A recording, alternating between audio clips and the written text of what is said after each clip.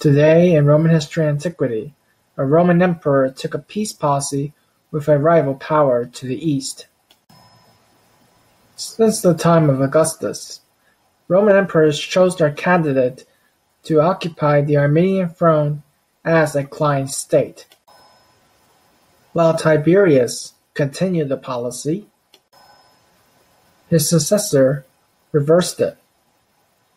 Find out today about Caligula and his Parthian policy. In early 37 AD, Artabanus II wanted to invade Syria due to his hatred of Tiberius. The Syrian governor, Lucius Vitellius, headed to the Euphrates River to stop the Parthian invasion. They met at the Euphrates and negotiated for peace. While there were no exact terms, these were the following actions. 1.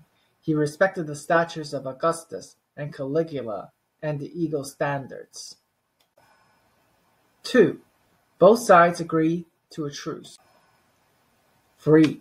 Artabanus handed over his son, Darius, as a hostage for Rome. He was later part of the celebrations with Caligula at Baia. 4. It was probable that Parthia controlled the Armenian throne. To do so, Caligula gave up Mithridates as the Roman candidate to be the Armenian king. If they lived on, I wonder what would have transpired. Initially, Caligula wanted to focus on Germania and Britannia, and Artabanus recognized Caligula for being Germanicus' son, due to having good relations with Germanicus. Conclusively, Caligula stopped Augustus' policy of appointing a candidate to the Armenian throne, which continued under Tiberius, who selected Mithridates to kingship in 35 AD. Also, a war against Parthia would be a quagmire, expensive, protracted, and risky. Too many lives would have perished.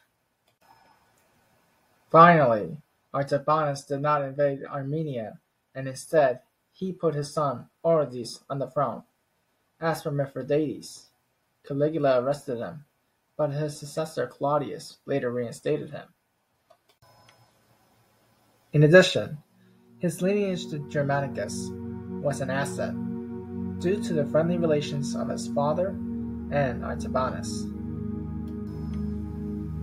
In addition, his lineage to Germanicus was an asset, due to the friendly relations of his father and Artabanus. In the end, Caligula ensured peace in his eastern frontier against Parthia.